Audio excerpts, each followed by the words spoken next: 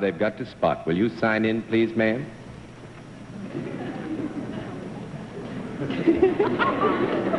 Reggie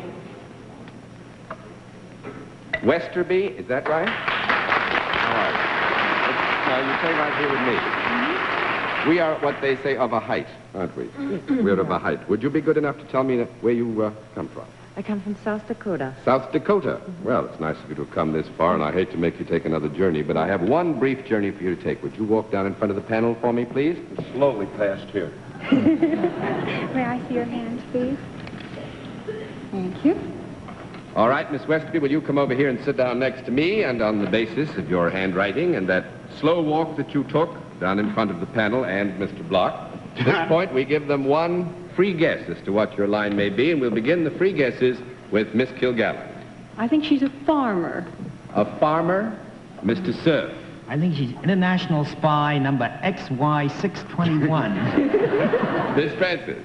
But for the marvelous shape of her brows, I think she models eyeglasses. Mr. Block. Well, I don't know whether she came in on a whistle stop, but if she did, I'd never stop whistling. Well, nobody has the right answer. We'll let our viewers at home have a further look at Miss Westerby, and at the same time, we'll tell them what her line is. But the panel's going to have to dig. Miss Westerby, every time you can get a no answer out of the panel, it will cost them $5, 10 no's, and you have won the game. We'll give them one more bit of help. Miss Westerby is self-employed. With that, we'll begin the general questioning with Miss Francis. Uh, do your unusual looks have anything to do with the job that you hold? No. That's one down and nine to go, Mr. Block. Do you, uh, by any chance, deal in a product? Yes. Is it something that, uh, that you might use? Yes. Or... is it something that uh, maybe uh, many women use? Yes, many Yeah. women use it. Does it make them more attractive to men? Uh, there are circumstances under which it might be said it makes them more attractive to men, yes. Is it something that might be worn? Yes. Would be worn from the waist up? Um, yes, from the waist up. Yes, it could be worn from the waist up. Yes. Well, is it worn below the, uh, below the neck? Yes. Is it ever worn close to the skin? Yes. Well, does it stretch and have strings? No. Two down and eight to go, Miss Kilgallen. Uh, is this anything that men might wear, too? Yes. Would men wear it in the same place that women would wear it? Well, on occasion they might, yes. Yes. Would they ever wear it for the same reason? For the same reason? Mm-hmm. Yes, there'd be occasions when they'd wear it for the same reason. Uh, does this cover a relatively small area? Yes. Is it, uh, is it opaque? I beg your pardon. Is it usually non-transparent? I would say that um, it's usually non-transparent, yes. Uh, can it be made of different things? Can it be made of different things? Mm-hmm. I would make it three down No. and seven Oh, to go. same Mr. Cerf. Miss Westerby, uh, when this is worn, uh, is it visible to uh, passers-by? Sometimes. Only sometimes? Yes, there are occasions when it wouldn't be. Mm-hmm. Am I correct in assuming that this object is not apparel? Yes, you are correct in assuming that this object is not apparel. Would it possibly be in the line of decoration, like jewelry or costume jewelry? Sometimes. Yes, it could be in the line Could of be used decoration. as decoration? Yes. Is it, uh, does it sometimes contain a pearl or precious stone? Uh, yes, it sometimes contains a pearl or precious stone. Could this be bought in a jewelry store? Well, we're having fun, aren't we? Just a minute. Small conference. Quit getting so close to her.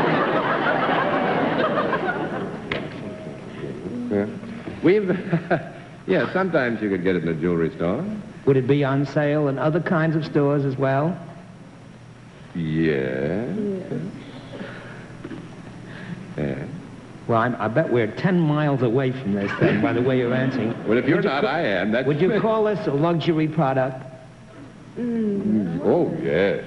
yes it's not uh, necessary to the sustenance of life. Uh, usually uh, indulged in only by prosperous people? No,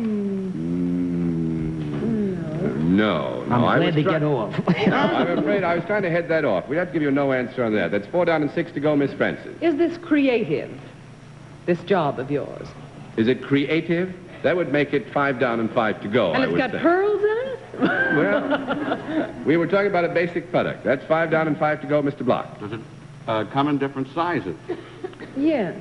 And uh, do you, do you uh, need any special kind of talent to work it? Things are getting real rough. I think it's only fair to tell you. Uh, I think we would have to admit that uh, it doesn't. Don't you? I don't think it takes a special talent to work it. Six down and four to go, Miss Kilgallen. Uh, is this worn by ordinary people who are not in some special kind of theatrical costume? Yes. Uh, is it ever worn by people who are traveling? Yes. Do they put things in it? No, I don't think so. No, I don't think you can put things in this. Seven down and three to go. I'm going to give you one more minute to get it, Mr. Cerf. Mr. Westerby, has this got anything to do, by any chance, with mining operations? Uh, Yes. Does this uh, product that, uh, a, a basic product involved in this, like gold? Yes. Is it gold? Yes. Yes. Now, all I have to do is find out what you do with the gold. Yeah. Well, I can't believe you're a miner, are you? Yes.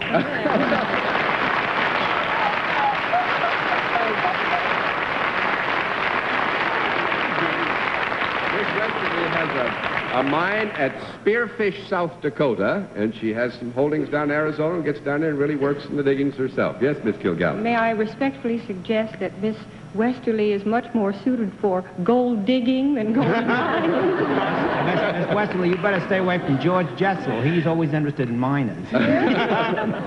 Well, Miss Westerby, you gave them a pretty tough run for it, and it's awfully nice to have had you as our guest in What's My Line. Good night. All right, let's see.